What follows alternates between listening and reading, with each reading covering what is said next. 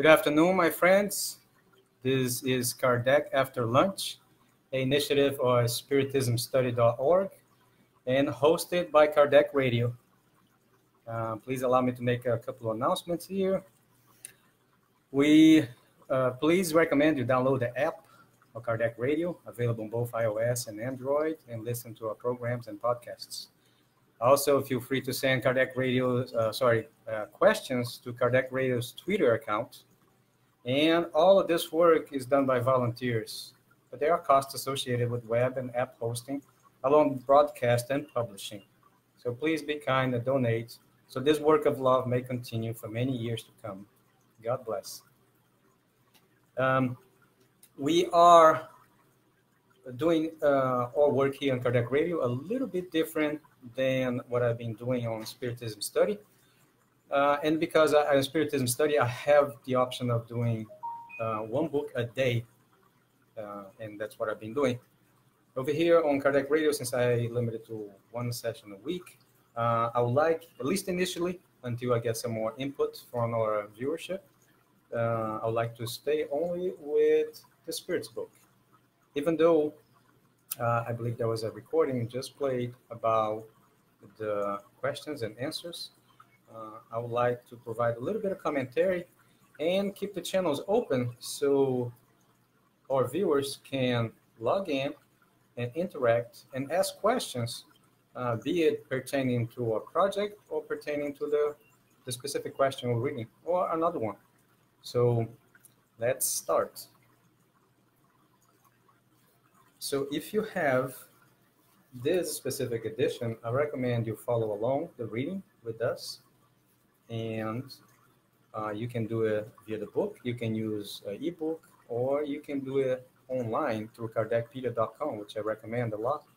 Uh, thank you, Vanessa, for being with us, Celia, Regina, and Linda Sutter.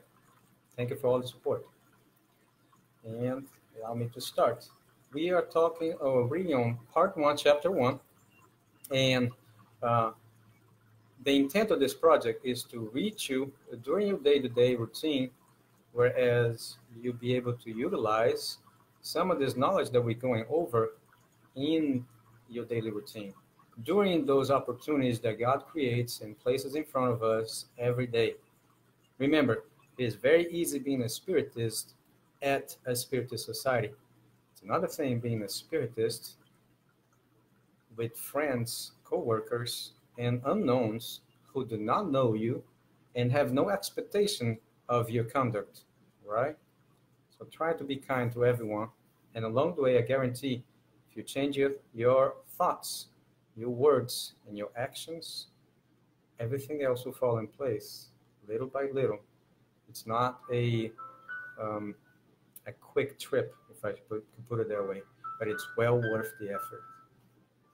So proof of proofs of the existence of God. Number four, where may we find proof for the existence of God? And the answer is in an axiom you apply to all your sciences. There is no effect without a cause. If you would search for the cause of whatever is not the work of human beings, then reason will answer your questions. And a commentary by Kardec to believe in God, we need only to behold the works of creation. The universe exists. Therefore, it must have a cause.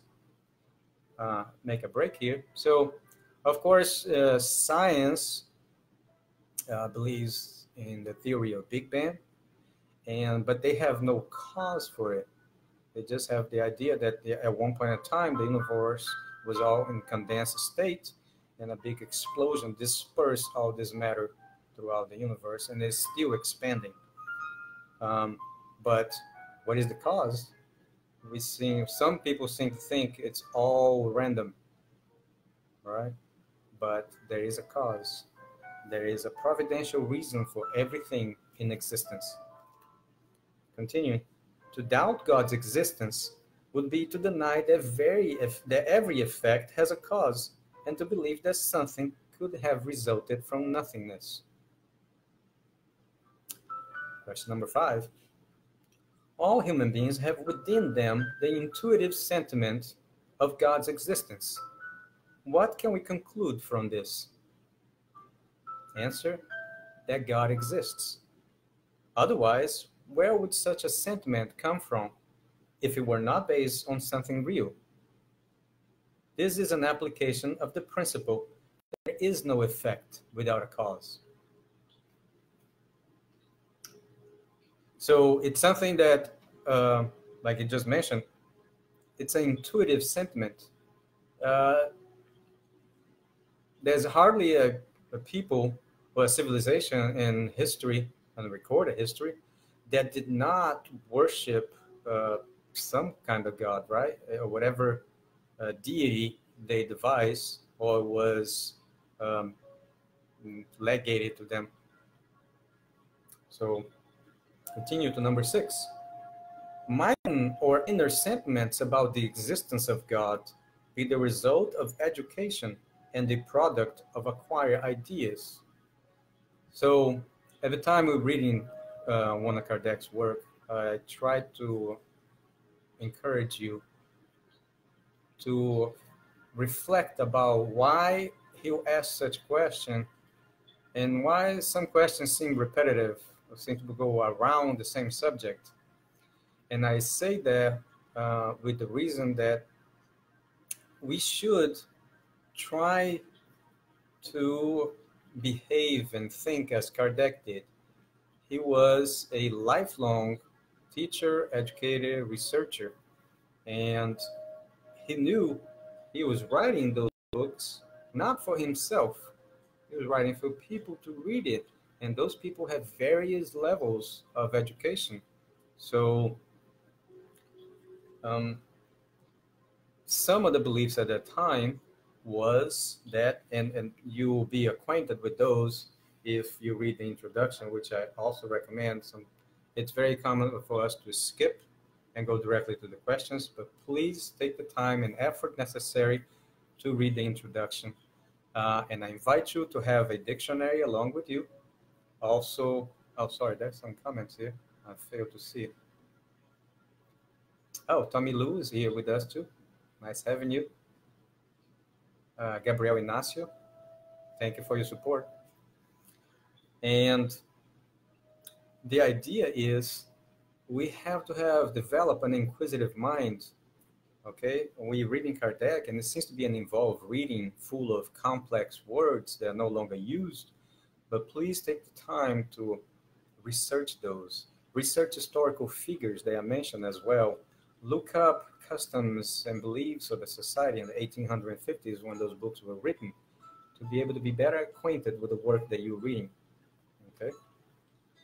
But coming back here. So the question was, might an or inner sentiment about the existence of God be the result of education and the product of acquired ideas? Basically saying, isn't society's, uh, mm, I guess, origin for instilling into us the belief that there is a God? Uh, yes, we are studying the Spirits book, uh, Gabriel. Uh, and the answer is, if that were the case, why would members of your primitive cultures have this intuition? And the commentary by Kardec is, if the sentiment of the existence of a supreme being were only the product of education, it would not be universal. Like all scientific ideas, it would only exist in the minds of those who receive such education. Right? So, like I said, those uh, questions he asks is not for his enlightenment, our enlightenment.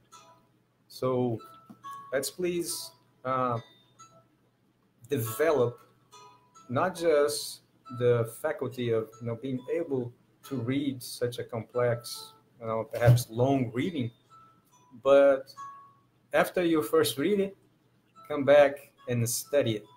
After you study, it, come back, read it again, because at every point of our lives, we're only able to consider the knowledge that exposed to us in regards to the knowledge you already have. So when you're second reading, you'll be more resourceful. Seven, could we find the first cause of the formation of things in the innermost properties of matter And basically, he's going about all the different um, ideas that people have to explain our existence, where we come from, and such and such. And basically, he's saying, like, if science develops enough to find the building block of matter, wouldn't that explain everything? And the answer by the Spirit. Even if you could, what in turn will be the cause of these properties? There must always be a first cause. And the commentary to attribute the first formation of things to the innermost properties of matter would be to mistake the effect for the cause, since such properties are themselves an effect that must have had a prior cause, right? So, even though we are in search of God's particle uh, through the Large Hadron Collider in Europe and other means, finding the building block, although, of course, it's a endeavor worth of such effort, it, it would not perhaps give the answer to the meaning of existence as some perhaps will believe. Number eight.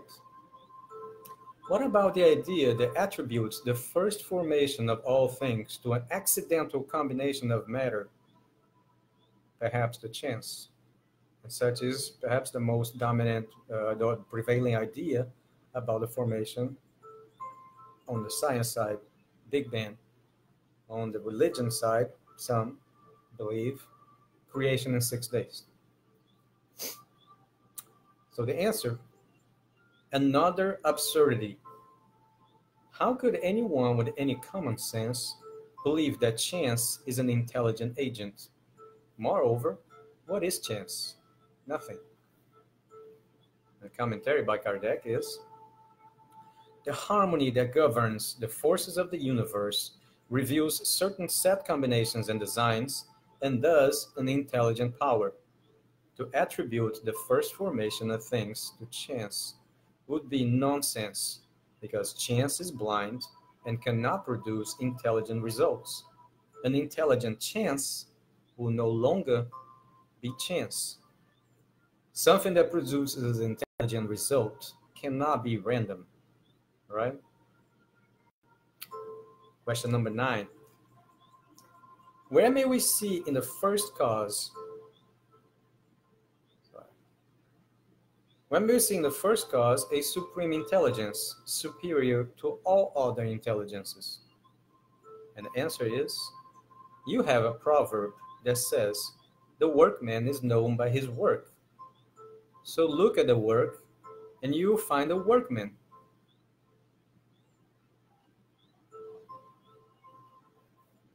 Pride is what creates disbelief. Human pride believes in nothing above itself, and that is why people think that they are so powerful. Poor beings. A mere breath from God could blow them over. And the commentary is we judge the power of an intelligence by its works, right? Since no human being could create what nature produces, it is obvious that the first cause must be an intelligence superior to humankind. Whatever may be the marvels accomplished by human intelligence, such intelligence itself must have a cause. The greater the results, the greater the first cause must have been. No matter what name you give it, that intelligence is the first cause of all things. Be marking what place we'll be leaving off, and I'll make some further commentaries about our project. So uh, I started this project back in January 1st of this year, and on April thereabout, I started those live sessions. And all the initiatives at spiritismstudy.org are enhanced or devised with the purpose of assisting you in starting your own study. Hello, Gladys. Thank you for being here with us. Because I really like to see more people reading the book, really consider that from the source. Do not take what I say, my interpretation, as being at face value, right? I would like to, each one of you to consider from the source. If you'll be nearby Orlando tonight, I'll be giving a presentation on there will be false Christs and false prophets in Portuguese, however. But I appreciate your support, and I'll be broadcast live from Plenitude Spiritist Society. Thank you, thank you, Kardec Radio, of all who make this possible, and Godspeed to all.